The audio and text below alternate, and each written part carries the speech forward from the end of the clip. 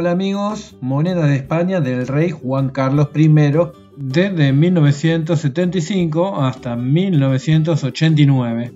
Hicieron monedas de circulación pero también de colección. En 1975 las primeras monedas tienen en el anverso la efigie del rey cuando asumió el trono a los casi 38 años. Se hicieron de 50 céntimos 1, 5, 25, 50 y 100 pesetas.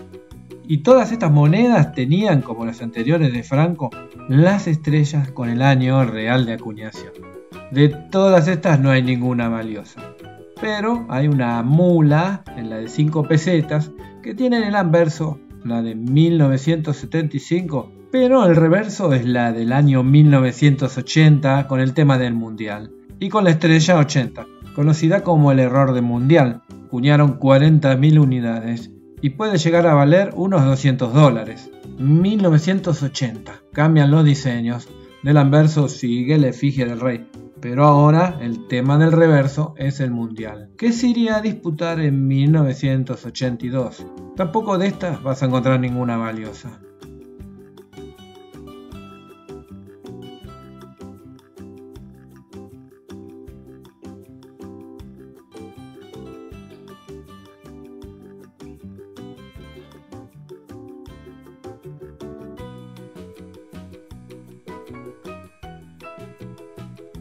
1982, año del Mundial, cambian otra vez los diseños y se elimina el sistema de estrellas. Ahora las monedas tienen el año de acuñación real. Ya no se acuña la de 50 céntimos, pero aparece esta de 2 pesetas en el territorio de España. Para mi gusto, es la más bonita de todas las de circulación de este periodo.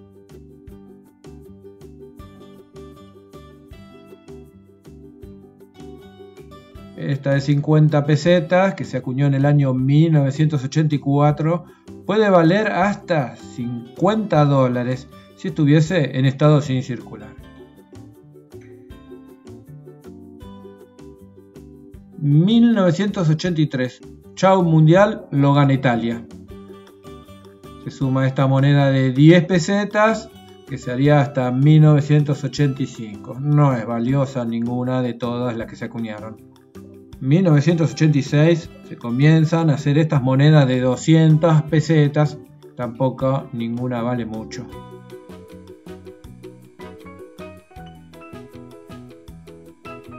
En 1987 se acuñan estos monedones de 500 pesetas con los rostros de Juan Carlos y Sofía. Y también se acuña esta moneda de aluminio para la tercera exposición de numismática esta sí vale porque solo se acuñaron 60.000 unidades Proof, con un valor de catálogo de 50 dólares.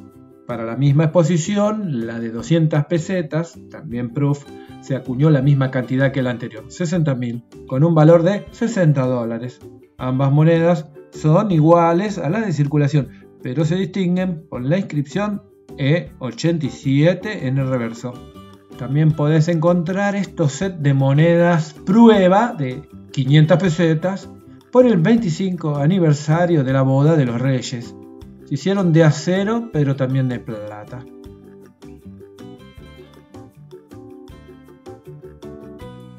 ...1989...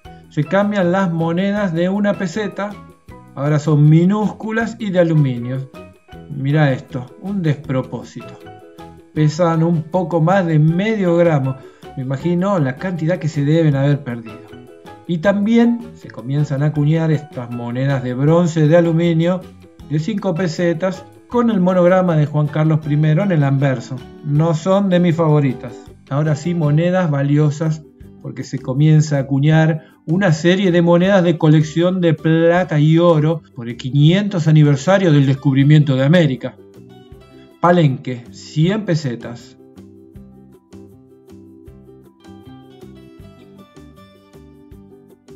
Astrolabio, 200 pesetas.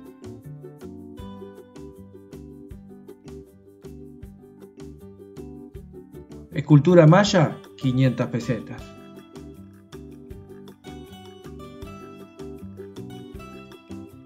Granada, 1000 pesetas.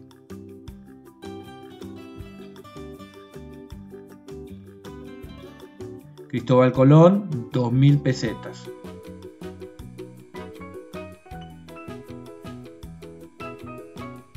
Descubrimiento de América, 5.000 pesetas.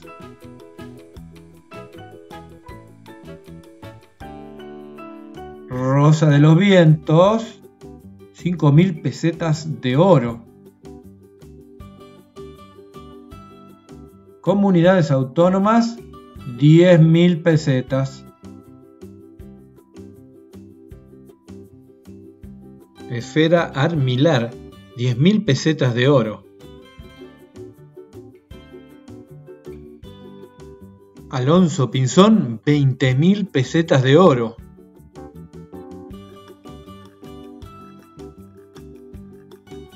Monstruo Marino, 40.000 pesetas.